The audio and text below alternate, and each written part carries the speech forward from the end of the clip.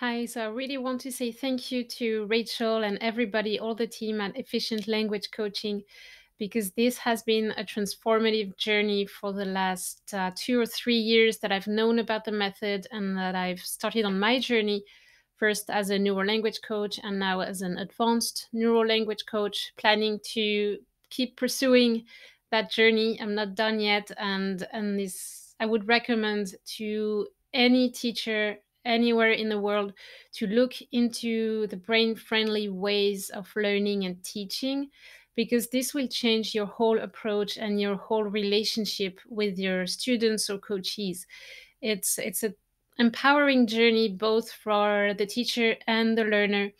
And i'm i, I had trouble feeling considering myself as a teacher because i felt the traditional methods didn't really resonate with me and i was feeling intuitively that there had to be more and different ways of teaching and learning.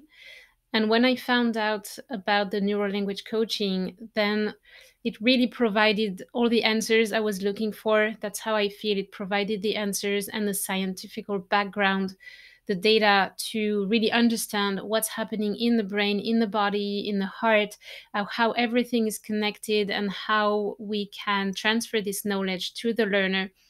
So, in order to empower them to really take uh, the lead in their learning journey, so that we're able to help them um, decide or find out what their true motivation is and the actions they would like to participate in and they've often they haven't they have never been asked this. And as we ask those questions we see how they transform and how they become more independent. And this is the most rewarding thing in the world.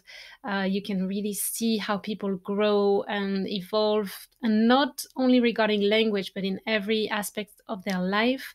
It does impact a lot more than just language learning. It's it's a whole transformative process for everybody, and I would strongly recommend um, this like neuro language coaching or neuro heart education because it's not just about languages. It can be any other um, topic on any other education matter, um, and yes, that's. Um, I'm that's about what I had to say, and I'm I'm really looking forward for many more years of uh, more neurolanguage coaches everywhere in the world, and to I'm happy to contribute to the growth of neurolanguage coaching by helping other people who may be on the fence make a decision, take that step, and engage in the process and join us in this wonderful community.